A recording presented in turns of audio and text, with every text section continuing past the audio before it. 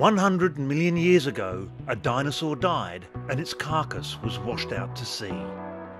Deep in its belly, it carried a mystery that would take 21st century technology to solve.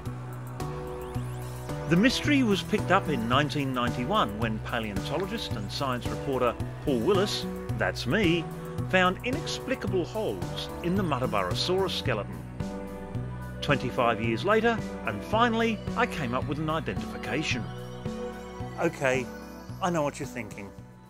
How could a paleontologist have sitting under his nose for the best part of quarter of a century and not know what they were? That is a good question.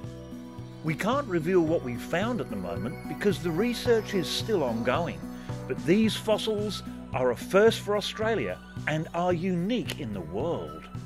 This is really exciting. There are many more surprises revealed by this ongoing study. The problem is, these fossils are unlike any other fossils seen before. In The Mystery in the Dinosaur's Belly, we present a new deal in documentary making.